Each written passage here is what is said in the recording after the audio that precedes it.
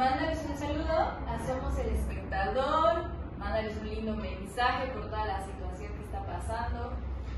Bueno, les mando un, un beso grande a Somos el Espectador y gracias por la invitación. Eh, también, bueno, consejito de, de lo que es toda esta pandemia.